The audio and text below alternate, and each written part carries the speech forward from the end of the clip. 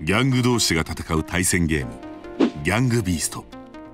それでは彼らの戦いの様子をご覧ください。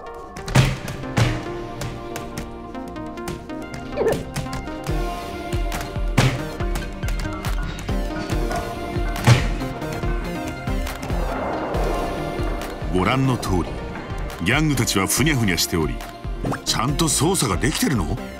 思い通り動かせているの？と不安になるかもしれません。ご想像の通り彼らの操作は言葉では表現しづらいとっても強い癖があるんです。ですが操作に慣れてくるとこのふにゃふにゃギャングたちをさも操れるようになっている気がしてくるはずです。